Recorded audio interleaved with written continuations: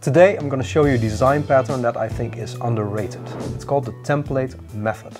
It's really nice. I recently kind of rediscovered it and started using it more. I have an interesting example for you this time. Everybody's talking about Bitcoin and the stock is moving faster than a Tesla Model S in ludicrous mode, so I'm going to use a trading bot as an example. I'll show you how you can use the template method design pattern to improve the code. And then I'll show you another pattern, the bridge, that takes this example to the next level. So let's get started. The core of this example is the check prices method that for a certain coin gets the price information and determines whether you should buy or sell something of that coin.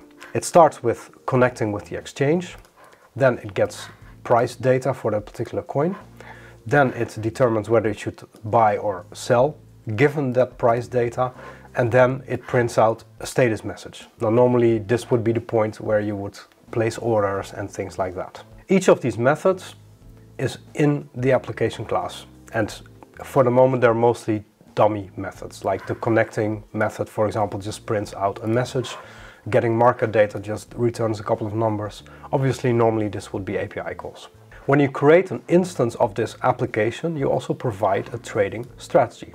Default, this is average, but another option is min-max. Both of these strategies are actually pretty bad, so really please, if you are into trading, just don't use these, but they're purely serving as an example. In the should buy and should sell method, then depending on that trading strategy, we use a different algorithm to determine whether we should buy something or whether we should sell something. With the min-max strategy, you will only buy when the price is lower than all of the previous prices.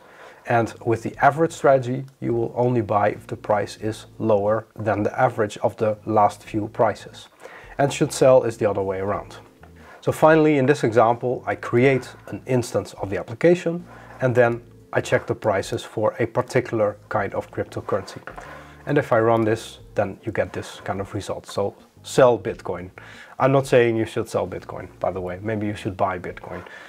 If I take another strategy here and then I run the application again, I get a different result for Bitcoin because the buying and selling strategy is different. Let's analyze this example. The application class has lots of responsibilities. It's responsible for connecting with the exchange, getting the data, determining whether you should buy or sell and what those specific algorithms are.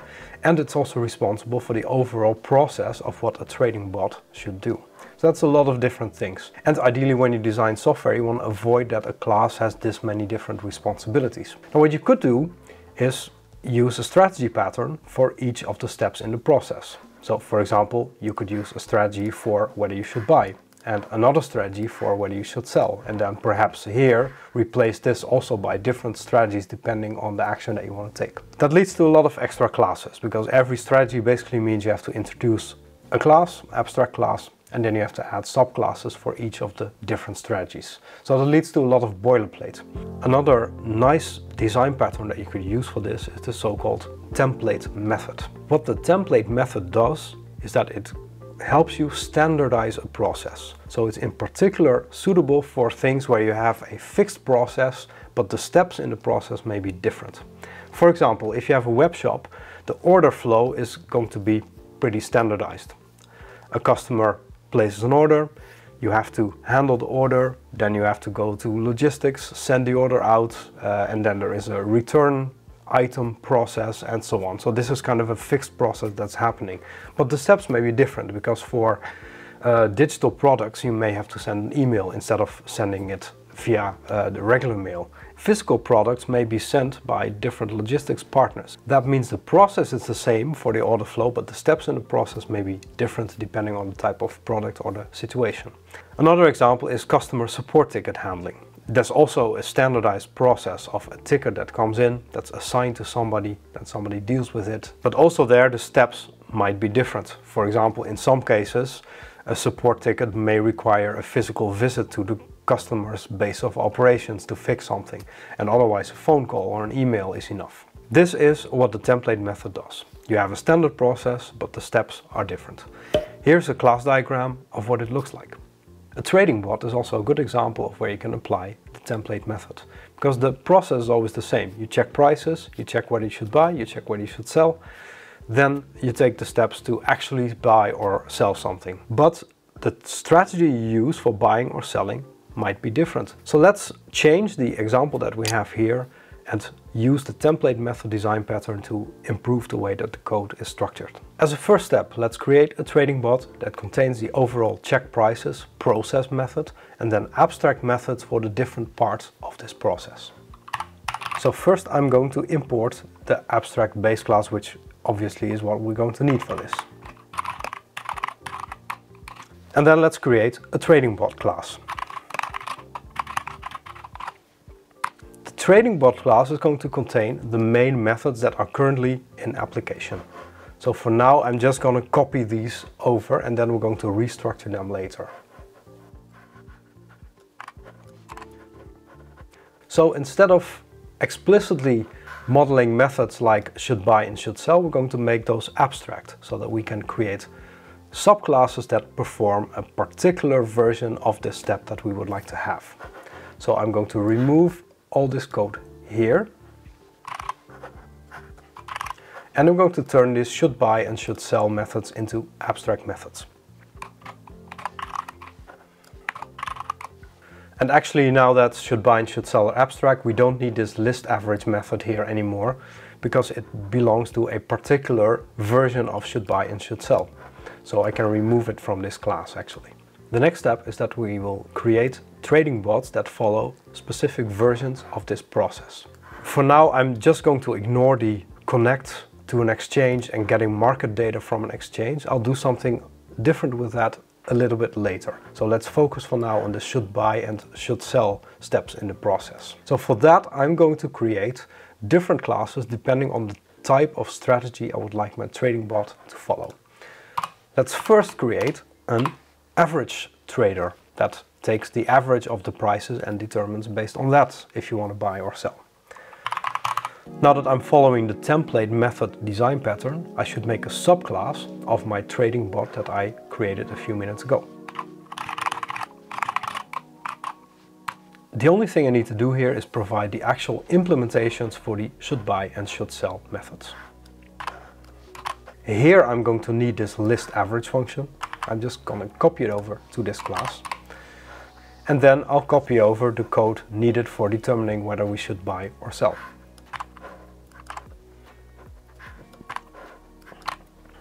There you go. And in a similar way I can create a trader for the min-max strategy. Should remove this abstract method call obviously.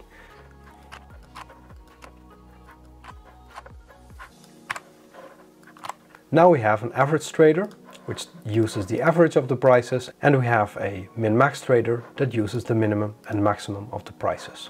What's really nice now is that we've decoupled the process which is checking prices and determining whether you should buy or sell from the actual algorithms or strategies needed to buy or sell. Now let me just remove this class here because we don't need it anymore. And then what we're going to do is we're going to create a min-max trader. And then we're going to check the prices. And you get this result. If I want a different trading strategy, I use the average trader. What's really nice now is I can add extra trading bot classes here without actually having to do anything in the original check prices method. This works completely independently from the steps in the process that I'm going through. So here you see very clearly that the process is completely standardized, but you can change the steps without adding too much boilerplate code. There's one more thing I'm going to do with this example, and that's I'm going to introduce a second design pattern to make it even better. The problem is that currently in TradingBot we have also methods for things that a trading bot should not really do, such as connecting to an exchange or getting market data from an exchange that's something that doesn't belong here, that should be something else. What we're going to do is use another pattern called the bridge to solve this problem. The bridge is a really nice pattern. Uh, you don't see it used that much, but it's actually really cool if you can incorporate it in your design. The thing that the bridge solves for you is if you have two separate things that vary. Uh, in this case, you have exchanges, you may use different exchanges, and you have different trading bots.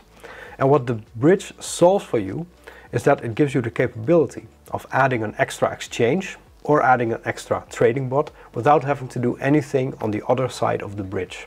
So the bridge is kind of a mechanism to have two separate class hierarchies, two variations that can change independently from each other. And that's really nice because obviously if we want to add another exchange to our example program, let's say we started with Binance, but now we also want to add Coinbase or uh, Bitfinex or whatever, we don't want to have to change anything in our trading bots. We simply want to add an extra exchange class and we want the system to be able to work with that. And similarly, if we think of a new trading strategy, we don't want to have to change things over at the different types of exchanges that we're using, because that has nothing to do with the trading algorithm. This is a class diagram of the bridge pattern. It looks a bit complicated, but it'll be clear to you once we start implementing it in the example. The main thing that we need to do is create a separate hierarchy of classes for the different exchanges. So I'm going to create an exchange abstract class. And for now that class has just a few methods, one for connecting to the exchange and one for getting the market data. Normally you'd have lots of different methods here for getting prices, volume, uh, placing orders and so on and so on. But obviously in this example we're not going to deal with all of those things. So in essence, in this example there are only two methods, which is connect and getting market data. And because these are abstracts, I'm just going to write pass here. Instead of TradingBot having these two methods, TradingBot should now have a reference to a particular exchange.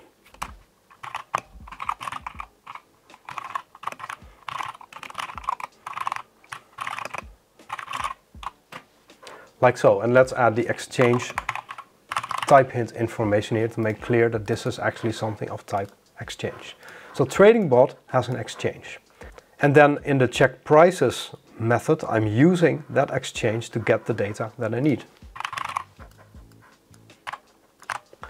The bridge in this example is this connection here. It's the connection between the TradingBot object and the exchange object. And the interesting thing here is that this connection happens completely on the abstract level. So you can't make exchange instances because it's an abstract class. You can't make TradingBot instance because it's also an abstract class, but TradingBot has an exchange. And that means we now have a structure where we can have different types of exchanges and different types of trading bots on the other end, and they can vary independently from each other. And that's the power of the bridge pattern. Let's add a few sample exchanges to show how it works. So first I'm going to make a Binance exchange. And this is a subclass of the abstract exchange class. And the only thing I need to do here is implement the connect and get market data methods.